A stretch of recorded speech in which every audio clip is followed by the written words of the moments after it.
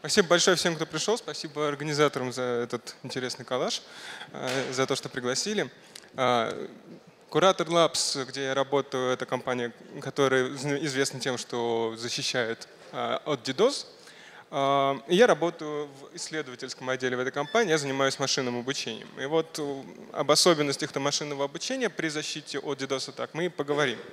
Но а, кликер есть? Спасибо большое. Ну вот сначала я бы хотел э, спросить, вот, а кто вообще сталкивался, кто знает, э, не, давайте так, кто не знает, что такое DDoS-атака? Да. А кто не использует внешние системы защиты от DDoS? Какие-нибудь сервисы? Ага.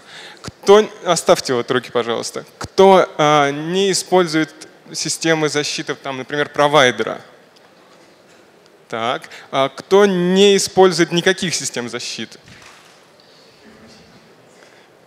Так. Ам, а кто не планировал вообще внутри своей, ну, разрабатывая архитектуру, как будет э, ваша система вести себя в случае DDoS-атаки? Так, ну вот всем, кто поднимал руки, наверное, будет очень интересно. А остальным будет интересно, если вы знакомы с машинным обучением или хотите немножко с ним познакомиться. Но ну вот э, чуть больше, более подробный вопрос. А вот, например, началась DDoS-атака на ваш сайт. Вот кто-то решил это сделать. Как вы об этом узнаете? Ну, то есть вот э, что произойдет? Вам придет оповещение или что? Кто-нибудь может рассказать? Раз у нас маленький зал, я думаю, Так, от Забикса. А, от какого рода оповещения? То есть что произойдет? Э, сначала пользователь, пользователи уже заметят в этот момент? Да, пользователи уже заметят. А, увеличится время загрузки, и Zabbix заметит, что увеличилось время загрузки. А, еще какие-нибудь есть варианты? Еще раз? Ну да, да, да, абузы завалят. Так. Кого, кого еще абузы завалят просто при DDoS-атаке? Хорошо. Значит, а вот как правильно это сделать, как думаете? Ну, то есть вот какая последовательность действий и событий должна произойти вот, ну, на самом деле? Ну, наверное, все-таки должно по каким-то внешним признакам, тот же, может быть, даже Zabbix, определить, что начинается DDoS-атака, а, время загрузки страниц еще не определилось, возможно, что-то посканировать в логах и переключить, например, а, оповестить, например, своего провайдера, ну хотя бы о том, что нужно увеличить канальную емкость, что-нибудь заблокировать, а, ну хоть в каком-то виде. То есть есть какая-то последовательность действий, и вот э, некоторые эм, элементы этой последовательности действий мы сегодня будем рассматривать. А, ну вот все, кто не принимали участие, наверное, в этой дискуссии, я думаю, я не берусь, конечно, утверждать на 100%, но я думаю, что относится примерно так к DDoS-атакам. И, вот, и я очень надеюсь, что а, вы не занимаетесь никакой коммерцией, потому что ну, иначе вот DDoS-атаки просто-напросто приведут к финансовым потерям. Вот мы будем разговаривать просто-напросто о том, э, что, собственно, что такое э, DDoS-атаки, в каком плане э, этот есть информационный процесс, процесс информационной безопасности, где здесь машинное обучение, и, ну, к чему оно все ведет. И, ну, рассмотрим на примеры, если успеем. Так, вот сначала мы говорили об, э, вот об этой последовательности действия, я спрашивал, потому что э, я хотел навести вас на мысль о том, что это определенный процесс. Защита от, от DDoS — это процесс, который причем начинается не тогда, когда DDoS уже кто-то решил вам устроить. Это э, процесс, и очевидно, процесс информационной безопасности. Что значит информационная безопасность?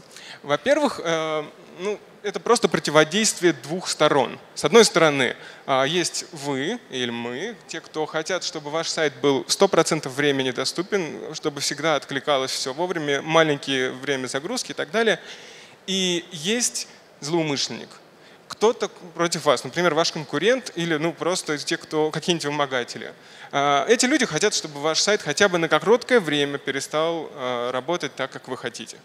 Вот э, противодействие между этими двумя странами, это, в общем-то, и есть информационная безопасность в том плане, о котором э, понимаю его я в этой презентации. И в дальнейшем, вот сегодня мы будем использовать два принципа э, информационной безопасности здесь. Во-первых, мы будем стараться думать э, как преступник, то есть мы будем пытаться встать на сторону тех людей, кто хотят завалить ваш сайт, и пытаться понять, как они это будут делать, что а, они могут захотеть увидеть, э, что они попытаются сделать. И с другой стороны, мы будем задаваться вопросом, а вот что при том или ином решении может пойти не так что может сломаться, если мы сделаем так или иначе, что приведет к тем или иным а, проблемам. А, ну, или по-другому это можно переформулировать в такой немножко шуточной форме, известный афоризм, вот, а, что если что-то может пойти не так, то оно пойдет не так, ну и причем по щит и злой воли. Мы будем об этом думать. Итак, вот что же за процесс защиты от DDoS? DDoS — это, в принципе, эм, атака, которая направлена на исчерпание ограниченных ресурсов. Это может быть, могут быть любые ресурсы, вплоть до не знаю, количества смс, которые может принять ваш телефон. Это может быть и а, размер оперативной памяти, и канальная емкость, все что угодно. И для того, чтобы а, защититься от DDoS, недостаточно воспользоваться, к сожалению, услугами даже какой-нибудь компании. А, как, ну, например, как мы, да, вы все-таки должны а, задуматься об этом на стадии проектирования. Над тем, чтобы защищаться, должна работать большая команда людей. А, сетевые инженеры должны задумываться о том, чтобы канальной емкости хватало хотя бы на легитимный трафик, и при этом чтобы был запас разработчики веб-приложений должны задумываться о том, чтобы один запрос не привел к тому, что вся оперативная память вашего приложения съедена. А, ну и специалисты по информационной безопасности должны, собственно, защищать а, а, ваш приватный IP-адрес. Ну, не приватный, а тот IP-адрес, на котором находится ваш сервер.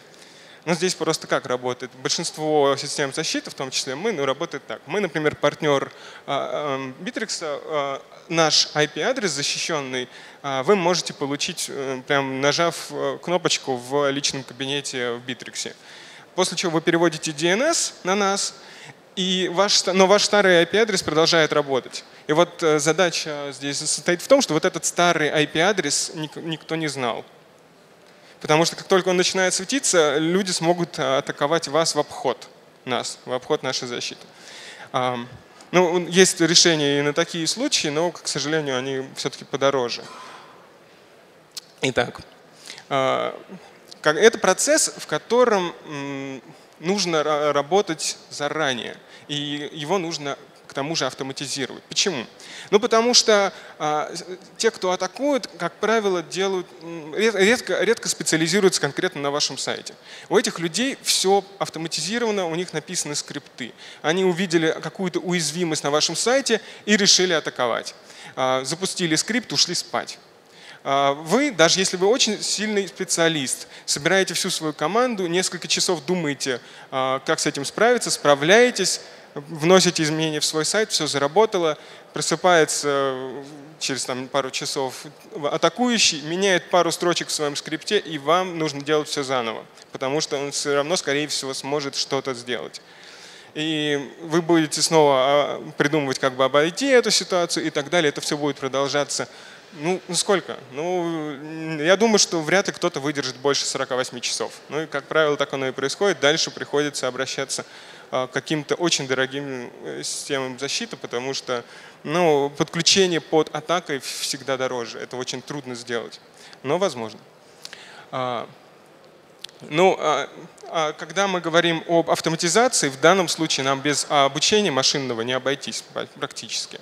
Я говорю здесь об атаках уровня приложения в основном, потому что большинство остальных атак решаются методом вот просто грубой силы. Ну, нужно просто действительно иметь достаточно большую а, канальную емкость, например, чтобы пропустить и отфильтровать а, весь эм, плохой трафик. Но когда речь идет об атаке приложения, например, когда к вам просто в страницу поиска Э, с большим количеством параметров поисковой формы летят просто рандомные случайные запросы, что убивают вашу базу. Эм, вот в таком случае нужно все-таки подобраться и понять, как же конкретно работать. А, но машинное обучение — это что такое? Ну, в первую очередь, это просто набор алгоритмов, который, в общем-то, имеет две фазы. Первая фаза — это обучение, то есть когда мы, грубо говоря, рассказываем нашим алгоритмам, что они должны делать. И вторая — это, в общем-то, их применение на практике. Существует три группы алгоритмов, но я думаю, что по времени я немножко здесь не успею это все пересказать.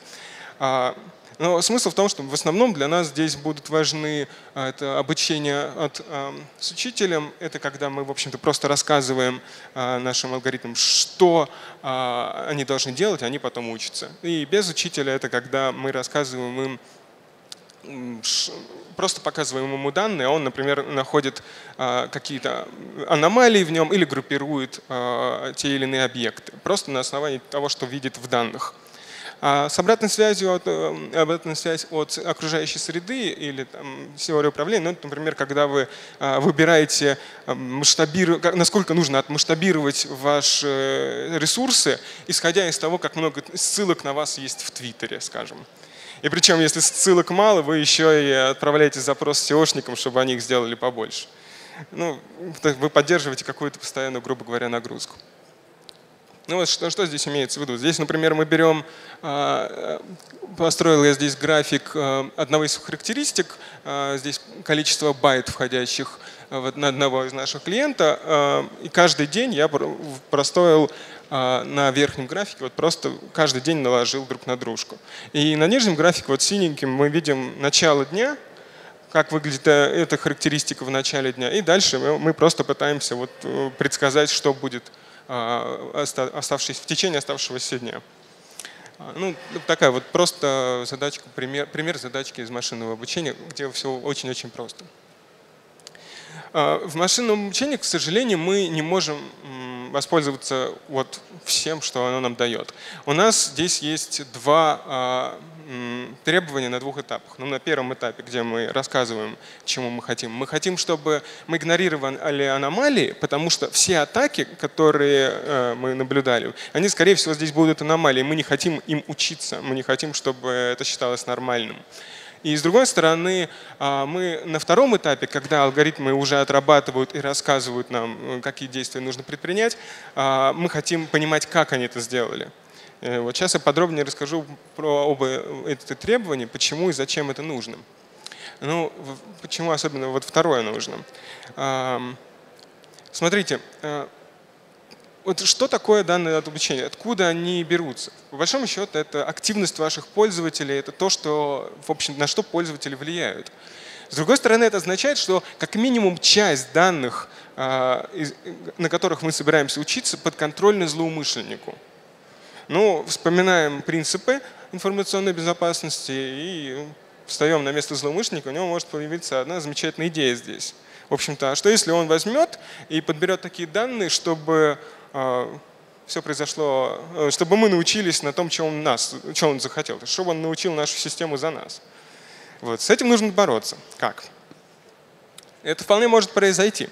А, например, вот кусочек из э, нашего такого глубоко внутреннего отчета о странной активности на одном из э, наших а, клиентов.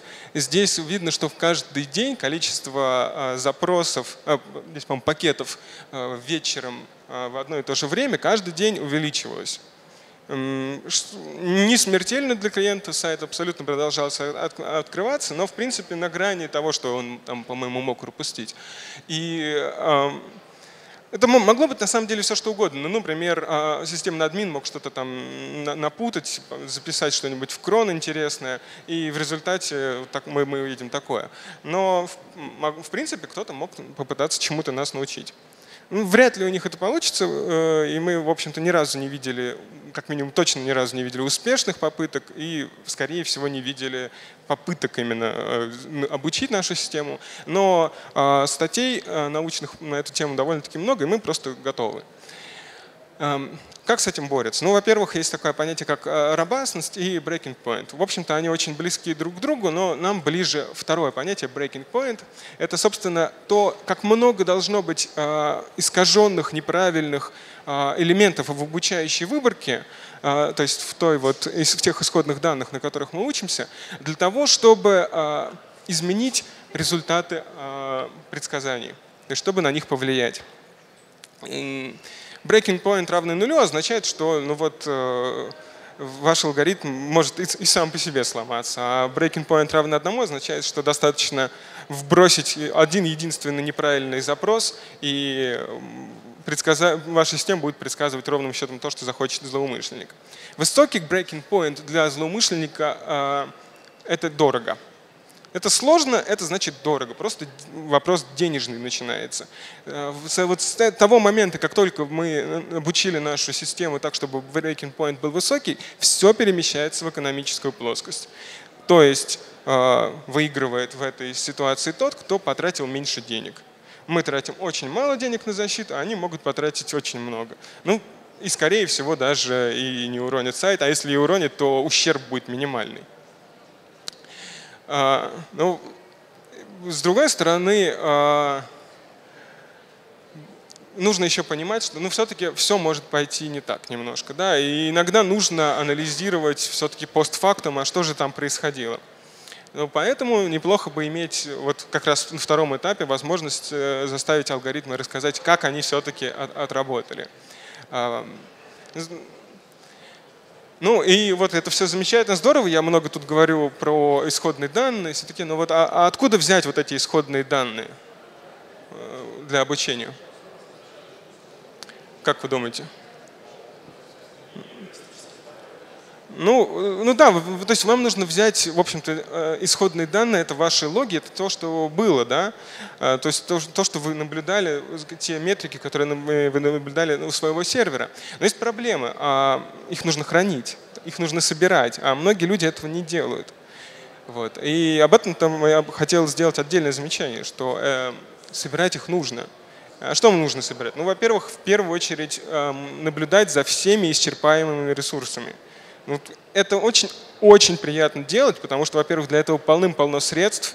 А, существует куча а, систем мониторинга, куча storage э, систем, и все здорово. И главное, вы всегда знаете, сколько мегабайт э, в секунду или там в минуту будет записываться данных. То есть а, даже если на вас началась э, DDoS-атака, и до этого вы записывали каждую минуту 1 мегабайт данных телеметрии, когда она идет, вы все равно будете записывать 1 мегабайт данных телеметрии. И это приятно. А, гораздо сложнее а, дела обстоят с хранением логов. Их тоже нужно хранить, но во время DDoS-атаки а, количество логов может увеличиться неимоверно. Вот. И это намного сложнее, но как минимум нам нужно, нужно кое-что все-таки иметь. Желательно, очень желательным. Ну вот эм, с ними, как смотрите, какие проблемы. Ну, во-первых, даже если вы их не храните, да, периодически неплохо бы включать э, небольшой такой делать дамп и сохранять небольшой кусочек. Вот просто иметь чистое представление о том, как ведут ваши себя пользователи на сайте, когда на вас нет DDoS-атаки, когда все хорошо. Эм, с другой стороны, если э, началась атака, э, и вы не можете, например, с ней справиться, и или вы подозреваете, что там может быть все гораздо хуже, чем есть сейчас, неплохо бы сохранить хотя бы кусочек вот того, что сейчас происходит. Но вот опять же, подумаем, что здесь может пойти не так? Что может сломаться? Ну, здесь довольно очевидно. Смотрите, вы находитесь под атакой, у вас э, все ресурсы, все ресурсы кипят, вам все плохо, да? у вас CPU в потолок, а вам еще, у вас есть еще какая-то задача сохранить 2 гигабайта логов. Но здесь просто нужно продумать, чтобы эта задача вот в критических ситуациях либо не запускалась, либо прерывалась а, и, в общем-то, не, не навредила больше. Но неплохо бы все-таки, а, чтобы она была. С другой стороны, есть такой умный подход. Можно хранить не все логи, а только кусочек. Но здесь тоже нужно подумать, чтобы это было правильно сделано. Не, не имеет смысла, например, хранить каждый там, десятый запрос. Нужно все-таки хранить сессиями. И вы, например, можете взять не криптографический хэш от IP-адреса и взять, например, только определенный диапазон этих э, хэшей сохранять. И если вы не успеваете их сохранять, сохраните их поменьше. А если все замечательно и у вас полно, то сохранять все. Ну, очень удобно. Хитрый такой способ э, ну, помогает. Так, ну, сохранили данные. Теперь чему мы, собственно, будем учиться? Да? Как, как бы нам помочь себе в дальнейшем? Ну вот по, той, по тем данным телеметрии, да, которые мы собирали, мы можем научиться в основном, когда, польз... Ну, когда нашему серверу было плохо, и с другой стороны мы можем попытаться прогнозировать проблемы на сервере. Да? Вот. Когда у нас есть логи, мы можем сделать чуть побольше, мы можем э, рассматривать, чем отличается там, зловредное поведение пользователей там, от других. Да? Мы можем группировать пользователей, то есть искать тех из них, кто вызывает меньшую нагрузку, но при этом не приносит денег. Да? То есть если уж вам совсем плохо, то есть все равно придется кого-то банить из легитимных пользователей, к сожалению. Кого? Ну, явно не тех, кто сейчас нажимают «купить». А, ну, давайте вот поговорим про примеры задач, да, более подробно. Ну, я хочу рассказать пару а, примеров, но вот сначала м, рассказать о такой концепции, как вот цепочек задач. Дело в том, что в машинном обучении у нас очень редко такое бывает, что вот есть просто входящие данные, есть выходящие данные. Как правило, задачи в машинном обучении складываются один за другим. То есть э, вход одного алгоритма – это выход другого. И иногда они там ветвятся, и, ну, в общем-то, получается в основном такая вот цепочка.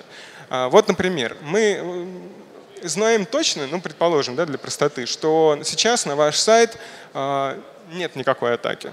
Но количество запросов очень сильно увеличилось, это все легитимные пользователи, все замечательно, но нужно что-то делать. Да? Вы, вы, если вы будете обрабатывать все запросы, то никто не увидит результат. То есть у всех зависнет страница. Нужно кого-то забанить, какую-то группу пользователей. Вот как раз то, о чем я сейчас говорил. А, как это сделать? Ну, во-первых, нам нужно понять а, вообще, какая ожидается нагрузка. Да? Для этого нам нужно понять вообще, какая она бывает, какая была до, до сих пор, и предсказать, какая будет дальше, и предсказать, насколько, где, где находится предел, да, и после этого еще и провести группировку пользователей, соотнести их с тем и тем. И все это, это задачи машинного обучения. В принципе, каждая из них сама по себе отдельно. Вот. А с другой стороны, ну, например, мы знаем точно, что на вас э, идет атака, да, и вот тоже, что, что можно сделать? Ну, в принципе, если на вас идет атака, но по количеству, ну, то есть она слабая, мы предпочитаем вот как вот сервис не, а, не блокировать никого. Ну, потому что блокирование при атаке а, обязательно будет приводить к false positives. Но если мы знаем, точно, на 100% знаем, что вот вы эту атаку на себя выдержите, и это не повлияет на вашу доступность, нам проще ее пропустить. Мы отметим для себя, что это атаки, что этому не нужно учиться, но мы выберем вариант, в котором нет false positives да, мы выберем вариант, в котором никто не пострадает. Э, но опять же, а как это понять? Сначала мы должны понять, какую нагрузку сервер может выдержать, потом мы должны понять. И, в общем-то, все то же самое. Да? Но опять же, цепочки задач. Ну, давайте вот, я вот показывал в начале картинку. На самом деле там было читерство, там было все красиво.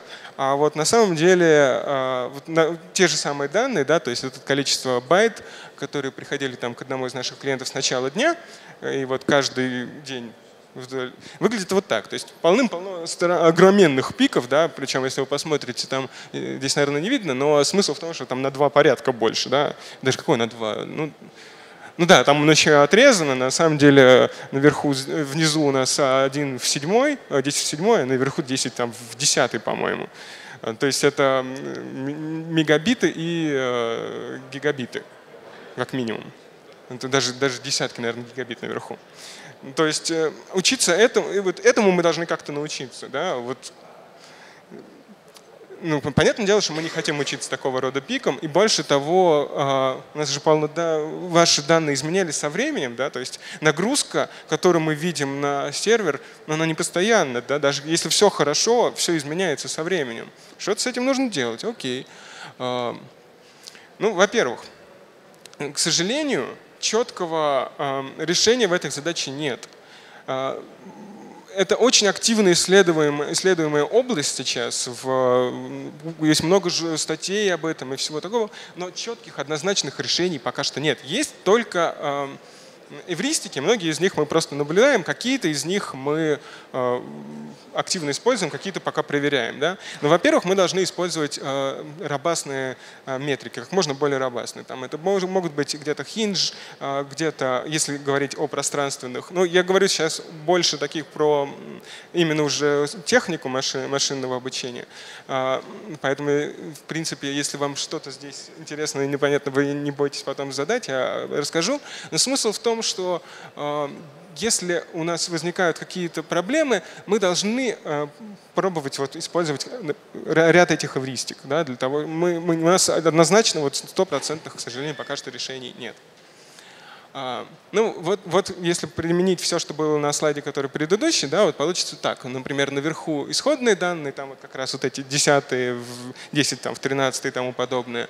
А, после там, нелинейных преобразований, которые мы тщательно подбираем, мы просто-напросто уменьшаем влияние вот этих аномалий, да, например, и в конце концов мы а, делаем уже обрезание по вот этому самому пику, и мы знаем, что это аномалия, но нам, нам не нужно, чтобы она так сильно влияла на наши данные. Да? Это, например, это пример того, что можно сделать. А, вот, например, э, график, те же самые графики, которые я вам только что показывал, но они немножко по-другому просто здесь представлены. То есть это э, количество байт, которые приходили на вход нашему клиенту. И вот читать это нужно так. Значит, это сверху, сверху влево, направо, сверху вниз. Слева направо, сверху вниз. То есть каждый, построчно. А, то есть чем более зеленая область или чем желтая, тем больше там была нагрузка. Ну, например, здесь очень легко на самом деле увидеть, где был Новый год и 1 сентября, так, если присмотритесь. После применения вот того, о чем я рассказал, да, мы можем сделать вот так. Мы можем сгруппировать а, все разные дни, которые мы наблюдали, потому что они сильно, честно говоря, будут отличаться друг от друга, и, собственно, кластеризовать их. Что нам это дает? Нам это дает то, что, например, если на выходных у вас очень маленькая нагрузка, и вдруг прилетает, вы можете, может быть, даже скейлитесь, да, убираете, scale down делаете, да, убираете лишние серверы, и к вам прилетает такая нагрузка, которая прилетает, например, в понедельник вечером, то для вас это может быть проблема. Да? Поэтому мы должны различать, что происходит в выходные и в будние дни. Да, вот мы, например, попробуем это сделать так. Здесь оказывается не только выходные и будние дни, но в разные дни у вас разная нагрузка, и мы хотим это понимать. А, ну и вот мы можем увидеть э, три разных э, типа нагрузки. Скажем так. А, и, соответственно, мы будем по-разному реагировать на, в зависимости от того, какая из них ожидается. Ну и дальше мы уже видим, опять же, как я раньше говорил, мы видим начало какой-то нагрузки. Да? Здесь я нарисовал побольше, чтобы вы понимали, что на самом деле все бывает нехорошо. Да? То есть тот же самый слайд, что был в начале, но только вот здесь чуть сделано поумнее. Да? Вот здесь мы сначала определили, какие бывают а, нагрузки, а уже потом предсказали, что будет в конце. Так, чтобы, ну, я думаю, вы понимаете, какой из них мы предсказали, да? А, ну и э, такой есть еще интересная тема здесь, это поиск э, групп запросов, но он более технический. А, я буду рад с вами поговорить об этом уже в, либо в куларах, либо в Q&A сессии. Вот. Ну, он очень интересный, но в основном он заключается в том, что мы ищем, в, преобразуем, э, преобразуем ваши э, логи в такую специальную базу данных, в которой мы, например, можем ответить, какие типы запросов вызывают ровно такой пик э, в количестве запросов, да, который кажется нам неправдоподобным, кажется нам похожим на атаку. А, и просто-напросто определив их, проверив, может быть, даже руками, начать по, вот просто по такого рода признакам, да, по такого рода сочетаниям признаков в логах банить.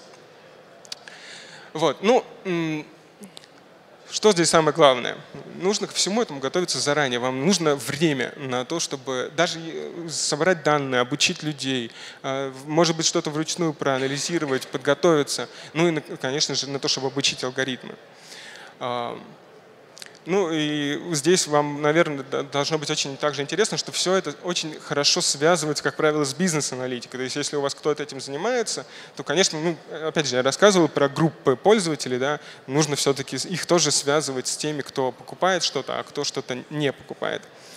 А, Большое вам спасибо, что послушали. Э, если у вас какие-то вопросы, я буду очень рад. Спасибо.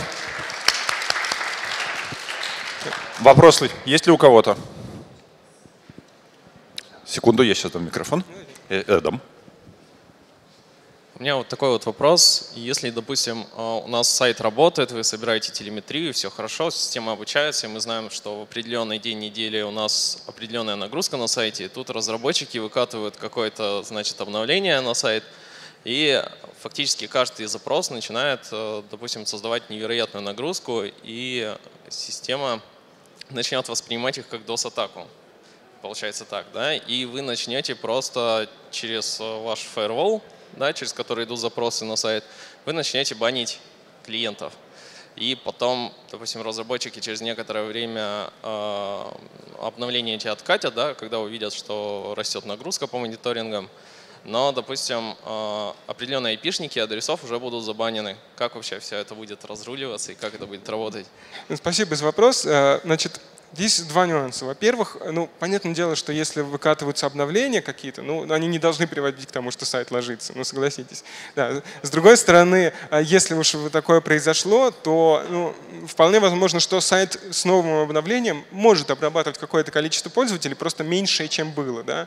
И та же самая логика, когда мы должны какую-то подгруппу забанить, но чтобы остальные все-таки работали, сохраняется.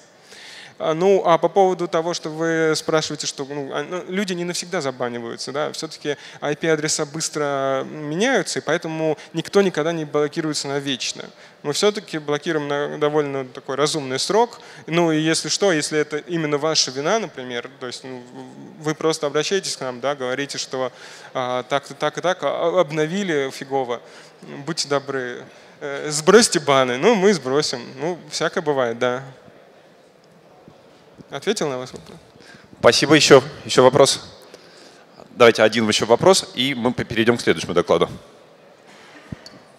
Спасибо за доклад. У меня вопрос. Можно что-то сделать просто вот на обычном хостинге? Тут там Простите, настройка... вас не слышно? Я подойду прям поближе. Прием, прием. Я говорю, можно сделать что-то в настройках на обычном хостинге, там, Ginx, Apache, как-то противостоять? Ну, э, если я правильно понял, вопрос э, вот из вот этой вот серии, а, можно ли что-то сделать? Да? Ну, в случае провайдера чуть-чуть можно сделать, какое-то количество а, вы можете защититься от каких-то самых простых задач. Естественно, вы не можете защититься от уровня L7 практически никогда. Ну и не нужно забывать, что в принципе атаки бывают настолько мощные, что они могут завалить целиком вашего провайдера. Э, что касается задач эм, с капчой, ну, понимаете, капча, с одной стороны, сильно развилась сейчас, с другой стороны, она бывает, грубо говоря, двух видов. Либо очень сложная, и так, если вы, например, начинаете показывать капчу каждому приходящему пользователю на ваш сайт, да, ну, если она очень сложная, то э, куча легитимных пользователей просто не будут заморачиваться с вашим сайтом и уйдут с него. А с другой стороны, если она простая, а не очень даже простые а, капчи ломаются уже, то есть подбираются, а, то это все просто не имеет значения. Я уж не говорю о том, что существует такой сервис а, а, Automated Humans, где вы просто-напросто говорите, вот нужно разгадать вот этот миллион капч и за сколько-то там денег, и живые люди просто берут и разбирают эти капчи. Ну, и это причем довольно дешево стоит.